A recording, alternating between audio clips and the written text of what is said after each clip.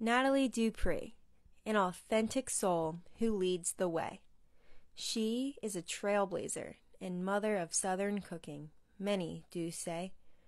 In the morning, when the church bells ring at ten, I knock on Nathalie's welcoming door, elated once again.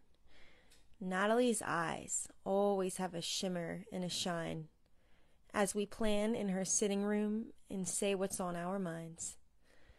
Notepads in hand, we discuss the previous day. The lessons, successes, and stories are replayed. Nathalie has an abundance of insight, helping me take my love of cooking to a heavenly height. Cook with your ears, Nathalie notes. That's one of her unforgettable quotes.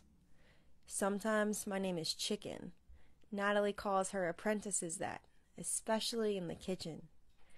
She grows her chickens, feeding them with knowledge and heart.